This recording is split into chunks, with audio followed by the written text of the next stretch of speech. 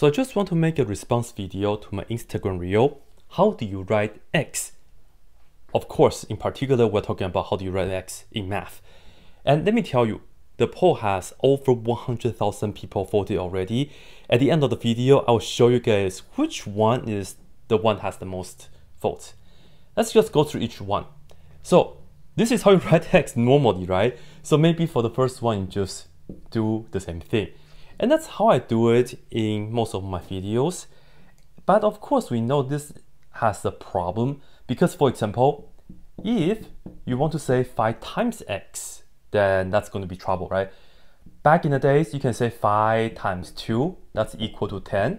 Okay, but if you want to say 5 times x, hmm, that is weird, right? So in fact, I have a way to avoid this.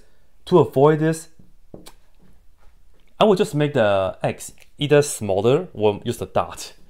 I like to do it like a little baby x like this, 5 times x. Yeah, and of course, a standard mathematic notation is just put dot right there. So that still means 5 times x. Alright, so there are ways to go around. Yeah, in my opinion, this is just convenient, all that. Now, the next option is we are going to make it slightly more artistic we are going to curve this part a little bit like this and then just go the other way. And in fact, that's how I used to write X. If you have seen my videos from a decade ago, then you might be able to find some videos where I wrote X like that. And of course, mm, I will also put this down in the same category. Maybe you also want to put this up as well and then you go like this. So this and that, I think is the same thing.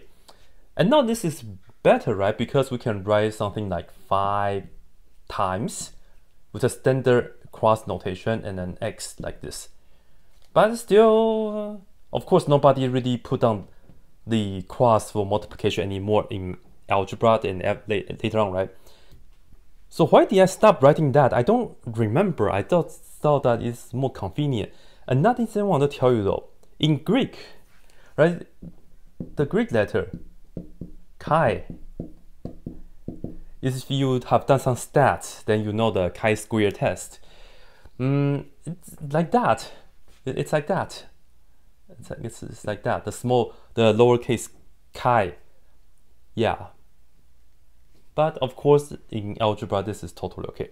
Now the next one is like a Chanel logo.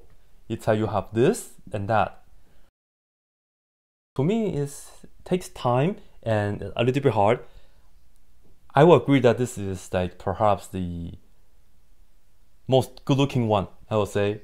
Of course, it looks like a Chanel logo. Now for the last one, it's that you want to do this, but you want to just do it in one go. So you're going to go like this, like that. I, I don't really do it like that. So yeah. Mm, that's pretty much it.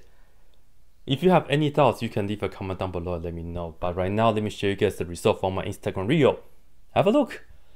Over 100,000 people voted A is the go-to way to do it.